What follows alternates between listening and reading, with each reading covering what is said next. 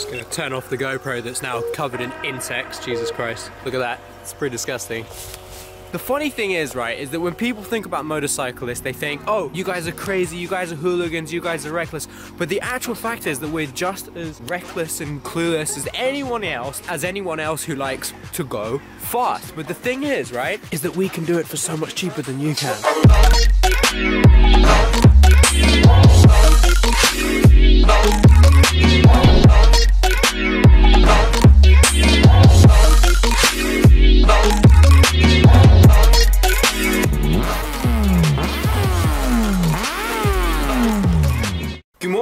Welcome to the vlog. Before I start this video, before we begin, I just wanted to clarify two things. Just to avoid all the people just getting like really, really mad at, me, at this video. Number one, I'm not shitting on car people. I love cars, seriously. I'm a big car person especially old classic. I'm not trying to show what you love to do, I'm just stating a fact. Just take this with a pinch of salt and don't get your knickers bunched up. Now that's been said, let's get into the video. And if you're new to this channel, please be sure to hit the subscriber bell. We've got some awesome content coming up. And if you haven't yet, also do get your motorcycle live tickets. Link is in the description. I'll be there again on the 24th of November, so be sure to get there because it'll be really cool to meet everyone. So excited.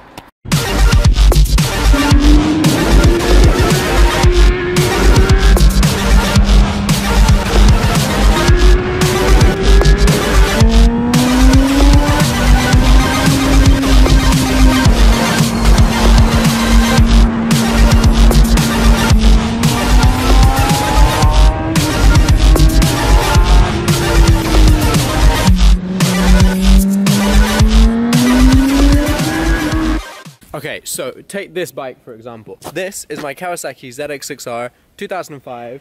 Um, it's a 636cc model, which means it's pretty good. So this is a 600cc sport bike, right? That doesn't sound like very big of an engine, does it? it? Puts out a lot of power in comparison to the weight of the bike. To put this into perspective, right? This has half the engine size of my VW Golf. I love that car. It's a fantastic vehicle car just completely ruining everything. It's a fantastic vehicle, but it's slow as shit. Seems like there's a Triumph coming. Let's wait for this Triumph to bugger off. Do a wheelie, bro. Wheelie, bro. That sounded pretty decent. I think it was an older speed triple.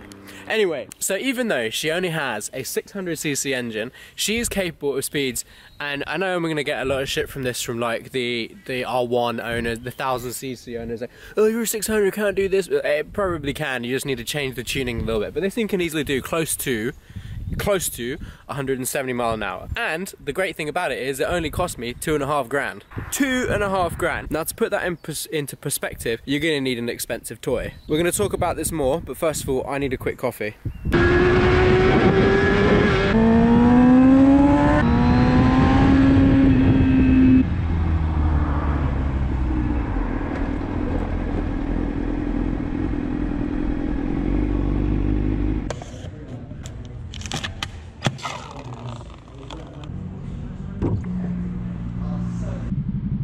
Some mediocre coffee. Oh no.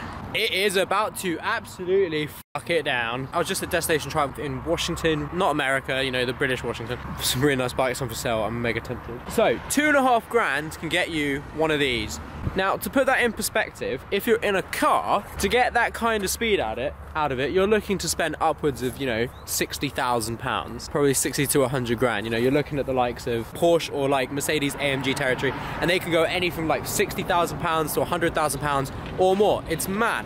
But for this, two and a half grand, and you can get a very good condition pocket rocket that will cost you nothing to run, really. Obviously, it's a bit of a pain to buy all the gear and things like that, but it costs you nothing to run, can take you from zero to 60 in like just over three seconds. I mean, what more can you fucking want? Gotta excuse the, uh, the Triumph jumper when I'm driving Kawasaki. I know it's a bit funny, but whatever. and then if you spend a little bit more, if you're spending like 15 grand, 10 to 15 grand, you can get a brand new R1, the 1000cc, which is, you know, nearly 200 horsepower that can take you to oh, like nearly 200 miles an hour, full, full of like all the crazy spec electronics, ABS packages, power modes, everything you can want. And those bikes will absolutely smoke, pretty much smoke anything else on the road. The most expensive motorbike you can buy probably at the moment for the road is going to be the Panigale V4R and that's only 34 grand for what you're getting. And I think the R puts out about 220 horsepower on a motorbike Mental. You're crazy not to get into motorbikes. Okay, fair enough. So you won't have four wheels, you're not gonna have air conditioning or heating, you're not gonna have leather seats, but you've got all the fun. So I've just done the thumbnail and I think it's time to go because I'm getting kind of weird looks from she hates me so much she's turned away from me. all I wanted you to do was to be in the thumbnail.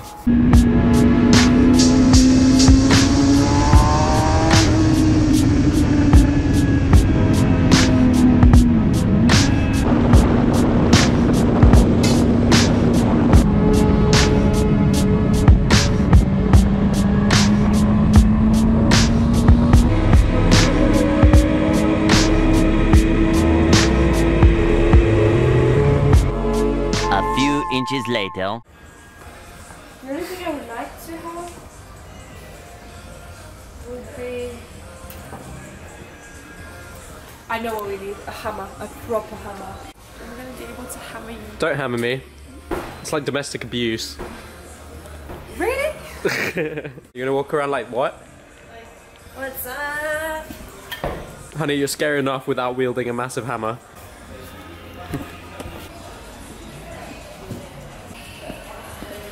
Wanna give me a gift? What gift? Can I have this one pound ninety seven blue pot of plant? Yes, you may have a potted plant. Do you want me to go get it? It's a gift. Oh god damn it. Uh, which one do you prefer? The blue, the purple, or Gabby, they're a fucking potted plant. Just pick a goddamn colour. okay, go for the purple. Thank you so much. You're such a cute husband. Can I have that in writing, please, and I can laminate it? I am the best. We the best. In the words of our Lord and Savior DJ Khaled, we the best. right, stupid potted plant. That was the best one out of all. yes, that was the best one. Thank you. Hammer it, Gabby. Hammer it. It was not that good. Right, so we got all the tools we needed. I got a breaker bar, most definitely needed. As you guys know, we're basically going to be doing lots and lots of track days next season. Um, and I'm, I'm so excited for it. But I need to update my toolkit, so I definitely need a, new, a breaker bar, which is basically to be used for removing the axle nut. Uh, to get the wheel off, to change the change of sprockets, uh, and to obviously change the tyres. Because I want to do the change of chain of sprocket kit as well. So I want to go one down and then uh, two up on the back, which basically would mean that we get a little bit more torque. Because the issue with the ZX6R is that even though it is a 170 mile an hour motorbike, give or take, you know, it, it, it could do with having a little bit less top end power and then having a lot more uh, low end and mid ranged uh, torque. So that's what the change of the chain of sprockets will do. It will give us that's what we need, especially on like uh, something like the Nurburgring GP circuit. You know, it will definitely help me on my two and a half thousand pound uh, motorbike keep up with the likes of uh, Hugo on his uh, 2018 R1 um, and James on his 2018 MT10 to do all the work that we need to do over this coming winter uh, in preparation for that trip. I'm super excited. Now, this person can't drive at all, man. Oh. This Toyota up here is just absolutely retarded. And now he's speeding like a mother. Like when he was like. Honestly.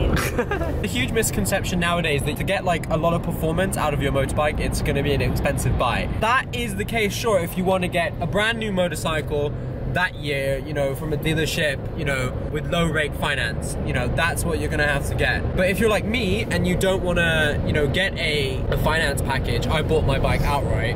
You don't want to break the bank and you also want amazing performance, you know, you can find those deals and it is possible to find them. And it's not that expensive. I mean, you know, my ZX6R, I, I was I was looking for a while. If you guys have been watching the videos for a long time, you'll know this. I used to have a Ducati Monster 600, which is, you know, it's a great little bike, but it's not exactly very quick at all. Gabby also had the same bike. That's how we met, girl. That is not a high five. That's just touching hands. Slightly awkward. I wanted something that was a bit more speed, was a bit newer. I knew I wanted a sport bike, so I was looking around for ages. I sold my Ducati Monster for way more money than I bought it for. It's one of the great things about buying secondhand. If you can buy smart, you can use the bike, put miles on it, and then sell it and make money. If you take care of it, obviously. So every single bike that I've had, I've made money on it, which is, I, I think that's brilliant. You're just like a little rally driver. Look at this shit. It's like killing it around these corners. Whoa! Slow down, woman, I'm trying to make a video. But all the ones I found within my budget, I had a budget of about three grand, were really, really high miles. But lo and behold, you do your shopping, and I came across this blue ZX6R. Some women drive like this. That's true. Some women do drive like that actually. It's so stressful. My mom drives like this. Look. I'm gonna show you.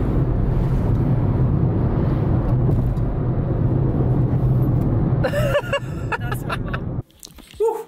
And we're back home. So basically, the moral of the story is if you look hard enough, you'll be able to find a fantastic sports bike that can give you the same performance as a £100,000 car, but for a fraction of the price. I hope you liked this video, guys. I hope you found it informative. If you did, please do drop a like. Remember your Motorcycle Live tickets, get them below. I'll see you there on the 24th of November. Thank you for watching, guys. I'll see you next video. Peace!